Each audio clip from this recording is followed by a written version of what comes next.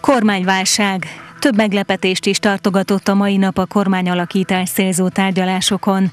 Egyrészt a Pénélé már nem kücut, hanem egy karrierkatonát jelölt kormányfőnek, a PCD pedig már nem akar előrehozott választásokat.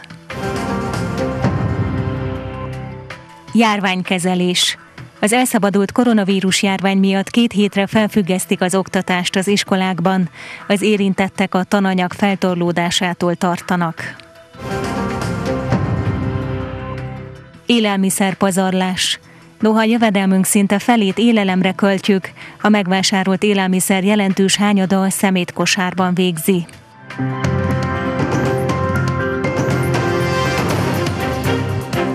Köszöntöm Önöket a híradóban!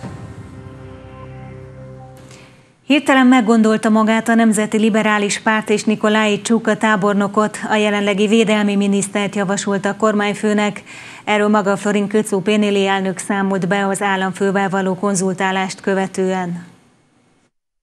A Nemzeti Liberális Párt politikai érettségről és felelősségről tett tanúbizonságot, mivel az a célja, hogy kivezesse az országot a válságból, hangsúlyozta Florin Köcó az államelnökkel való konzultálás után. A Nemzeti Liberális Párt Nikolai Csuka védelmi minisztert javasolta a kormányfői tisztségre egy kisebbségi kormányban, partnereinkkel, akikkel eddig is kezeltük a válsághelyzetet, vagyis az LMDS-szel. Számítunk a törvényhozók felelősségteljes magatartására, hogy mielőbb legyen kormánya az országnak, tette hozzá a Pénéli elnöke. Újságírói kérdésre válaszolva Florin Kücú azt mondta, ő maga javasolta a párt vezető testületének, hogy Nikolai Csuka legyen az alakulat kormányfőjelöltje, mivel úgy véli, ez jelenti a megoldást a politikai válság feloldására. Ezt a válságot nem a Pénélé robbantotta ki, de a Pénélé oldja meg, fogalmazott a liberális formáció elnöke. Meggondolta magát a szociáldemokrata párt vezetése, már nem támogatja az előrehozott választások kiírását. Mácsel Csolákú PCD elnök ugyanakkor rendkívül homályosan fogalmazott, amikor a Pénélé körül kialakítandó kormány támogatásáról kérdezték az újságírók. Többen haltak meg koronavírus fertőzésben szerdán Romániában, mint az egész Európai Unióban. Óriási egészségügyi válságban van az ország, mondta Mácsel Csolákú, a PCD elnöke, az államelnökkel való konzultálást követő sajtótájékoztatón. Úgy vélte, a jelenlegi járványhelyzetben mielőbb szüksége van az országnak a kormányra, ezért a PCD letett az előrehozott választások kiírására vonatkozó korábbi javaslatáról. Cred continuare Továbbra is úgy gondolom, hogy az előrehozott választások a legjobb megoldás. Ennek ellenére világos számunkra és a románok számára is, hogy a jelenlegi helyzetben nem lehet előrehozott választásokat tartani, tekintve, hogy napi 500 fölött van az elhalálozások száma. Arra az újságírói kérdése, hogy ebben az esetben a PCD hajlandó-e támogatni a Csuka kormányt, Csolákó ezt mondta, ez elsősorban a Dacian Csolos vezette Uszeri dolga, mivel meglátása szerint Köcú visszalépése azt mutatja, hogy a jobb középkoalíció helyreállítását célozzák. Hozzátette, amennyiben a Pénéli elnöke tárgyalásra hívja a szociáldemokratákat, nem fog részt venni az egyeztetésen. A Pénéli változtassa meg azt a döntését, hogy nem tárgyal a PCD-vel. Ha a kormányalakítással megbízott miniszterelnök hívja meg a szociáldemokrata pártot, akkor esetleg tárgyalhatunk, fogalmazott Csolákú. Az RMDS nem ért egyet azzal, hogy a Pinelli egy katonatisztát jelölt a kormány élére. Kelemen Honor szerint ennek ellenére a szövetség tárgyalásokba kezd a Nemzeti Liberális Párttal, mivel az országnak mielőbb szüksége van egy teljes jogkörű kabinetre.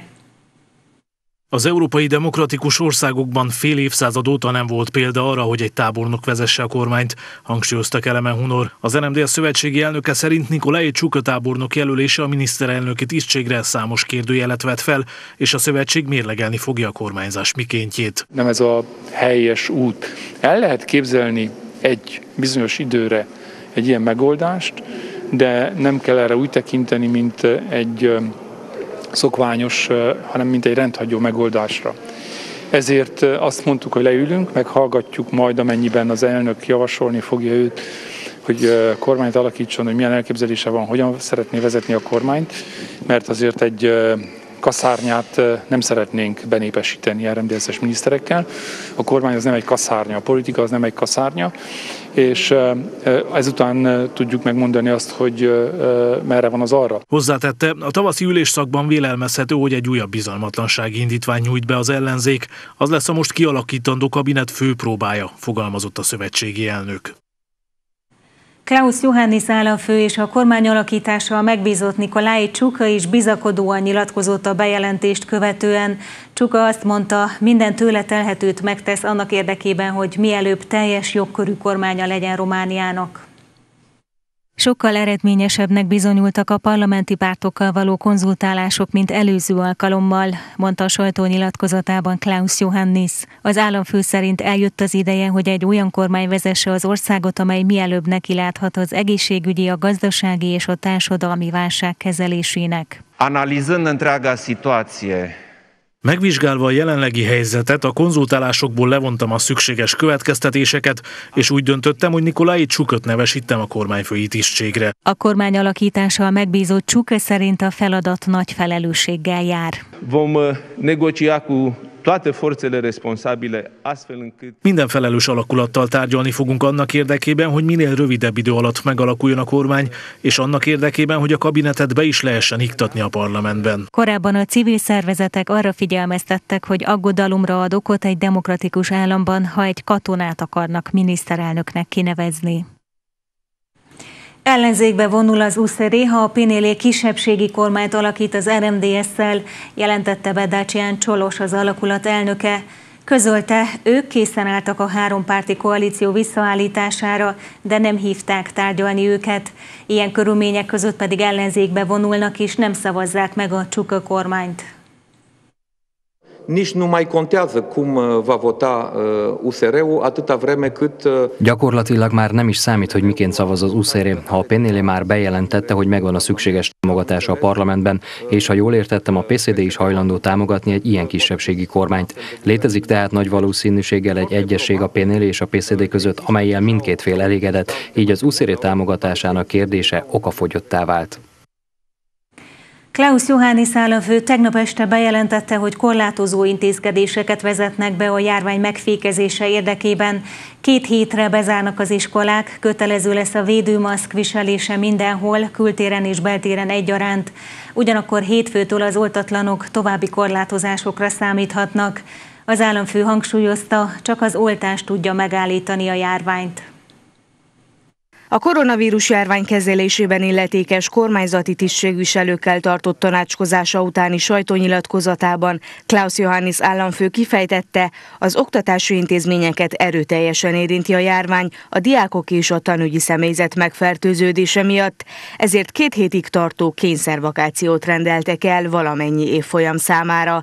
Emellett hétfőtől kötelező lesz a maszkviselésre kül- és belterületeken egyaránt, éjszakánként pedig a beoltottakon és a munkájukat végző személyeken kívül mindenki számára kiárási tilalom lép érvénybe. Az államfő többször hangsúlyozta az oltás fontosságát. Dacă vreți să nu ajungeți la spital. Ha nem akarnak kórházba kerülni, és nem akarnak intenzív osztályra kerülni, oltassák be magukat. Ne higgyenek azoknak, akik azt hazudják, hogy ez veszélyes, és nem lehet tudni, mi történik utána. Az egyetlen dolog, ami történik, ha beoltatjuk magunkat, az az, hogy megszabadulunk a betegségtől, illetve határozottan megszabadulunk a betegség súlyos formáitól, és mi, mint társadalom egyszer és mindenkorra megszabadulunk ettől a világjárványtól. Să scăpăm odată de această pandemie. A SARS-CoV-2 vírussal való megfertőződések exponenciális növekedése miatt Románia az Európai Veszélyhelyzet Reagálási Koordinációs Központtól kért segítséget. Ausztria 1075 doboz a COVID-19 súlyos formáinak kezelésére szolgáló gyógyszert küldött saját tartalékából Romániának. A gyógyszerek szállítását szintén az osztrák állam biztosította. Az érintetteket kérdeztük a kéthetes kényszervakációról. A diákok és a tanárok is úgy vélekedtek, nem a tanítás felfüggesztése a megoldás. Mivel az oktatási intézményeket erőteljesen érinti a járvány, a diákok és a tanügyi személyzet megfertőződése miatt hétfőtől két hétre felfüggesztik a tevékenységet a közoktatásban. A diákok egyetértenek a jelenléti órák felfüggesztésével, de az idei végzősökre való tekintettel a vakáció helyett inkább az online oktatást választották volna, mondta el híradónk érdeklődésére Szabó Szabolcs, a Maros megyei Magyar Diák Tanács elnöke. Ez felelőtlenség, úgy gondolom, hogy ezt a két hetet nem online tartjuk meg, hanem inkább vakációként, és ugye még semmit nem tudunk arról, hogy hogyan lesz ez bepótolva, miként fogják a tananyagokat majd átadni a tanárok, de megértjük a helyzetet, mert mi is nézzük az egészségügyet, és látjuk, hogy jelen pillanat romlás alatt van, és ennek apropóján mi is próbálunk ügyelni egymásra. Egyelőre még nem lehet azt sem tudni, hogy ezt a két hetet a diákok milyen formában pótolják majd be. Az első fél év végéig még 10 hét áll a pedagógusok rendelkezésére, a tananyag ismertetésére, illetve az osztályozásra. A kényszervakáció pedig ezt nem könnyíti meg, így ennek pótlására egyértelműen ki kellene tolni a tanévet még két héttel, fejtette ki Hajdu Zoltán a Bolyai Farkas Elméleti Liceum aligazgatója. Itt a nagy kérdés számomra az, hogy az iskolák bezárása vajon megoldotta a diákok közti találkozásnak a leállítását, mert itt erről beszélünk leginkább. Több mint valószínű, hogy a diákok délutánonként vagy akár ha vakáció van délelőttönként is találkozni fognak továbbra is. Na most azért vehetünk pozitívumokat is a közszállításon, biztos, hogy a zsúfoltság az nem lesz akkora, mint iskola közben. Úgyhogy reménykedjünk abban, hogy a járványhelyzet lelassul, és két hét múlva, vagy három hét múlva azt mondjuk, hogy volt pozitív hozadéka ennek a döntésnek. Ha az egészségügyi válság a kéthetes vakáció alatt súlyosbodik, akkor valószínűleg ismét online oktatásra kell áttérniük az iskoláknak. Erre pedig fel kell készülni és felkészíteni elsősorban az ország összes iskoláját, a családokat, diákokat és a pedagógusokat, hogy ez jól működhessen, véli az aligazgató. Az intézkedés további részleteiről péntekre ígértek bővebb tájékoztatást a hatóságok. Noha a konkrétumokat csak holnap fogják közölni, hétfőtől várhatóan éjszakai kijárási tilalom lép érvénybe mindenhol, és minden vendéglátóipari egységben kérni fogják a zöld igazolványt. Az érintetteket kérdeztük a szigorításokról. A kezek fertőtlenítése az első lépés azok számára, akik a járványhelyzetben látogatnak be a vendéglőkbe, éttermekbe, kávézókba. Nincs ez másként a Marosvásárhelyi Beat vendéglőben sem, ahova a két fiatal egyetemista tért be ma délelőtt. Jó napot kívánok! Mielőtt szeretnének fogyasztani a vendéglőnkbe, meg kell mutassák fel az igazolványokat. Ez a kérés is már ismerős lehet a vendégek számára. A hétfőtől életbe lépő korlátozások értelmében a zöld igazolványt máshol is fel kell majd mutatni. Látom az értelmét, látom azt, hogy miért kérik. Biztos, hogy nem mindenki számára kedvező ez, meg nem mindenki örül neki, de szerintem fontos, mert mert hozzájárul ahhoz, hogy a, a járvány visszaszoruljon. Mivel Romániában körülbelül alig 30%-os az átoltottsági arány, ez a korlátozás negatívan hat a vendéglátóegységekre is. Automatikusan azt is generálja, hogy visszaesik a forgalom. Volt már rá példa, hogy az oltás hiánya miatt összejöveteleket kellett lemondani. Ugyanakkor számos konfliktus is keletkezik, és ez kellemetlen mind a személyzet, mind a vendégek számára, mesélte híradónk érdeklődésére Szántó Katalin, a Marosvásárhelyi BIT vendéglő tulajdonosa. Ha abból indulunk ki, hogy az állam nem volt képes még eddig sem rendezni azokat az ígéreteit, amit ígért a 2020-as évben való esés miatt 2019-hez képest, és 2021 végén járunk, akkor nem hiszem, hogy fogunk kapni bármilyen támogatást, ami majd a, a fennmaradásunkat segítse. Természetesen, hogy ez a zöld igazolvány, ez, ez csak visszaesést fog generálni. Jelenleg egyharmadára csökkent a klienskörünk és az árulásunk. De nem csak a zöld igazolvány kötelező vététele várható, hanem a lakhelyünkön kívül mindenhol kötelező lesz a maszkviselése, kültéren, beltéren egyaránt. A magas fertőzöttségi rátájú Marosvásárhelyen már múlt héttől kötelező a maszkviselése a köztereken, de városi sétánk során sok olyan emberrel is találkoztunk, aki nem hordta. Szerintem mindenképpen szükséges behozni valamilyen korlátozásokat, és ezt látom egyetlen megoldásnak arra, hogy ez a vírus lejárhasson, és végre újra élhessük az életünket. Hogy pontosan milyen további korlátozó intézkedéseket hoznak, arról péntekig születik meg a kormányhatározat. Tegnap este 24 plusz című műsorunkban Targyöngyi, a Hargita megyei egészségügyi igazgatóság vezetője és László Attila szenátor, a Szenátus Egészségügyi Bizottságának titkára fejtették ki véleményét a tervezett korlátozásokról.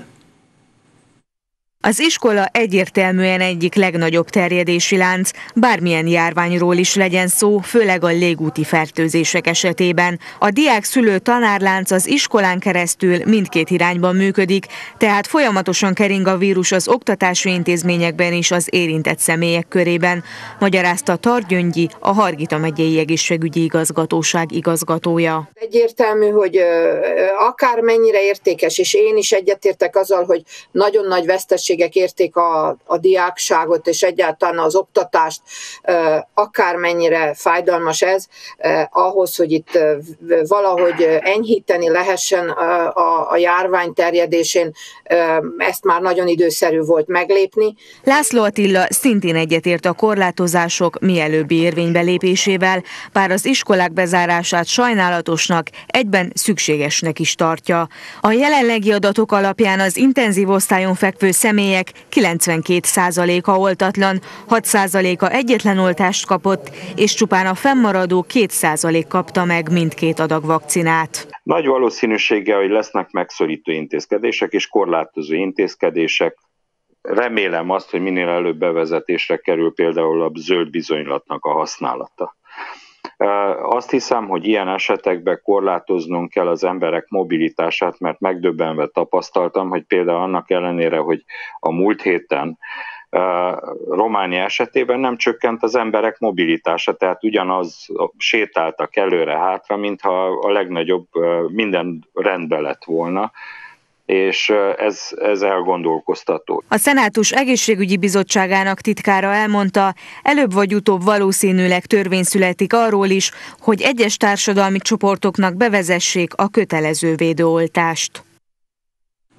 Nő a koronavírussal fertőzött betegek száma Hargita megyében is, jelenleg 4,47 ezrelék a fertőzöttségi arány. Napról napra egyre többen, egyre súlyosabb állapotban érkeznek a kórházba. Nő azok száma is, akik már későn kerülnek orvoshoz. Olyan állapotban volt, hogy már nem volt, nem nagyon tudtak vele mit csinálni. Két beteg a kórházba érkezést követő órákban hunyt el, magyarázza a Csíkszeredai megyei sürgőségi kórház sajtószóvivője. Az elmúlt 24 órában összesen heten estek a koronavírus járvány áldozatául. Közülük két személy úgy, hogy behozták a kórházba, és néhány órán belül el is hunyt, tehát már nem tudtak rajta segíteni az orvosok. Ezért a kórház orvosainak az a kérése ismételten, amellett, hogy oltassa be magát mindenki, hogy ne várjanak addig, amíg a tüneteik súlyosbodnak. Tehát ha pozitív tesztjük van, és észlelik a tünetek súlyosbodását, akkor ne várjanak túl sokáig, forduljanak orvoshoz, hogy minél előbb megkapják a megfelelő kezelést. A Hargitai megyeközpontban jelenleg 178 koronavírussal fertőzött beteget kezelnek. Többségük súlyos vagy kritikus állapotban van, 136-an oxigénes légzés támogatásra szorulnak. A betegek száma továbbra is folyamatosan növekszik, ennek következtében a gastroenterológiai osztályt is a COVID-19 vírussal fertőzött betegek számára alakították át. A kórházban ápoltak 89%-a nincs beoltva. A megye négy kórházában összesen közel 400 covidos beteget ápolnak. Hargita megyében a fertőzési arány 4,47 ezrelék. Vannak települések, mint például Csíkmadaras, Csíkszentmihály vagy Tusnádfürdő, ahol ez az arány 8 ezrelék fölött van. Lakosság arányosan a legtöbb koronavírussal fertőzött Gyergyóvárhegyen van a megyében, itt 11,2 ezrelék a fertőzött ráta. Noha jövedelmünk szinte felét élelmiszerre költjük, a naponta kidobott étel mennyisége körülbelül fél kilogrammot tesz ki fejenként, mutat rá a mezőgazdasági minisztérium felmérése. A pazarlást észszerű vásárlással, illetve újrahasznosítással csökkenthetjük, vélik a szakemberek. A romániai háztartásokban a jelenlegi adatok szerint Évente több mint két és fél millió tonna élelmiszer kerül a szemétbe. A legnagyobb mennyiségben a pékárukat és az otthon megfőzött ételeket dobjuk ki, de ide sorolhatók a zöldségek és a gyümölcsök is, mutatott rá a nem túl biztató számokra a mezőgazdasági minisztérium. Románia más országokhoz képest is rosszul teljesít. Magyarországon például egy év alatt körülbelül 60 kg élelmiszer hulladék keletkezik fejenként. Ez az érték nálunk 129 kg. A naponta kidobott étel pedig egy teljes étkezésre való mennyiség, ismertette Tankó Attila közgazdász. Mint mondta, ezek nagy része a városi fogyasztóktól származnak, a vidéki településeken ugyanis a hagyományos módszerekkel hasznosítják az ételmaradékot, vagy komposztálják, vagy az állatoknak adják. Kiemelte azonban, hogy a jelenség a vendéglátóipari egységekben is észlelhető. Ez a háztartásuk, mert az egy jelentős hányada ennek a számnak, másik rész pedig a vendéglátóegységekben felhalmozódó. Ugye ott látjuk azt, hogy minél szélesebb palettával próbálják kiszolgálni a, a vevőket. Éppen ezért ugye elkerülhetetlen, hogy megmaradjon egy bizonyos számú vagy mennyiségű étel, és ezt a nehéz jogi körülményeknek is betudhatóan nem adományozhatják könnyen oda a rászorulóknak. A kidobott ételmennyiség csökkentésére számos lehetőség van, és a magánszemélyekkel ellentétben a romániai vendéglátóipar már intézkedéseket léptetett életbe ennek érdekében. Az eredmények már látszanak, tette hozzá Tankó Attila, aki a Muncs Románia társalapítójaként egy ételmentő platformot hozott létre, amelyre a vendéglők feltehetik a megmaradt, de még jó minőségű ételt, a felhasználók pedig ezt kedvezménnyel tudják megvásárolni. Úgy véli az élelmiszerpazar pazarlás visszaszorítása mindannyiunk felelőssége, ezért is érdemes jobban odafigyelni a vásárlási szokásainkra és a maradék újrahasznosítására. Jó hír, hogy az élelmiszerpazarlás átlagos szintje a romániai városi fogyasztók körében csökkenő tendenciát mutat. A 2016-os 10,43%-ról 2020-ra 6,5%-ra szorult vissza. 30-35 százalékos arányú online adatfelvételre számítanak a hatóságok a jövő évi romániai népszámláláson. A cenzus először ad lehetőséget arra, hogy a kérdőíveket online töltsük ki. A 2022-es népszámláláson a lakosság 30-35%-a várhatóan él majd azzal a lehetőséggel, hogy elektronikusan maga tölti ki az adatfelvételi űrlapot, véli az Országos Statisztikai Intézet elnöke Tudorel Andrei. A tavaszi próba népszámláláson egyébként a lakosságnak csupán mintegy egy negyede töltötte ki online a kérdőíveket. A Statisztikai Intézet vezetője emlékeztetett, a jövő évi cenzust először fogják úgy megszervezni, hogy a lakosságnak lehetősége lesz online is kitölteni a formanyom nyomtatványokat. Mint mondtam, azon országok némelyikében, amelyek nem halasztották el a népszámlálást, nagyon magas arányú volt az online adatfelvétel. Portugáliában 87%-ot, Szlovéniában 86%-ot tett ki a kérdőíveket online kitöltők aránya. Az intézet elnöke szerint eddig Bulgáriában volt a legalacsonyabb 32% azoknak az aránya, akik éltek ezzel a lehetőséggel, és reményét fejezte ki, hogy Románia is eléri legalább a 30-35%-os arányt. A statisztika Statisztikai Intézet vezetője egy szerdai online eseményen az online részvétel kapcsán elmondta, pozitív hozzáállásra számít. Am făcut tot ce se poate să venim cu o tehnologie modernă, minden tőlünk telhetőt megtettünk annak érdekében, hogy korszerű technológiát biztosítsunk, mindazt, amit elvárnak egy modern statisztikai intézettől. A statisztikai intézet által kidolgozott online felület lehetővé teszi, hogy a nemzeti kisebbségek saját anyanyelvükön töltsék ki a kérdőíveket. A jövő évi népszámlálás március és július között zajlik. A hatóságok becslése szerint az első eredményeket várhatóan 2022. decemberében teszik közzé. Nem csak a község, az emberek mentalitása és az összefogás is nagymértékben változott az elmúlt időszakban, jelentette ki Sófalvi Szabolcs Maroszentgyörgy polgármestere Híradongnak az elmúlt egy évet értékelve. A jelenleg zajló munkálatok mellett számos komoly terv áll készenlétben a jövőre nézve is. Sófalvi Szabolcs több mint egy éven negyedik alkalommal foglalta el Maros Szentgyörgy polgármesteri székét.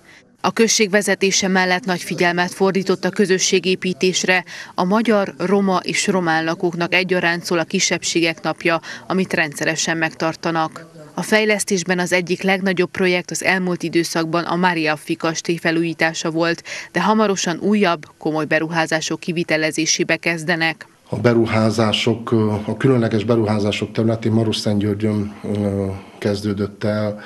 Kelet-Európában az egyik legjelentősebb beruházás, ami a, a rákos betegség megelőzését, illetve gyógyítását illeti, egy onkológiai kórháznak a, az épülése, illetve finalizáltuk azt a tervet, amelynek következtében egy új, Kóskároly stílusú, szép nagy kultúrotthon épül Maros Szentgyörgy központjában. Fontos befejezett projekt még a megye első jégkorong pályája, amely Maros Szentgyörgyön épült meg, de hamarosan a Foci Akadémia is bázist kap.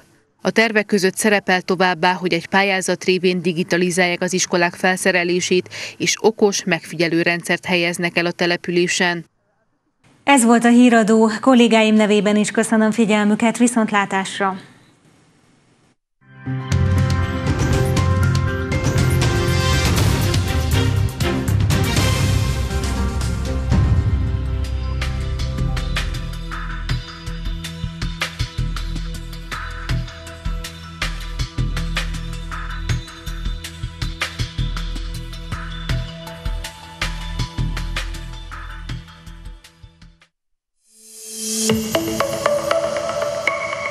Műsorunk elérhető az interneten, Youtube-on és Facebookon.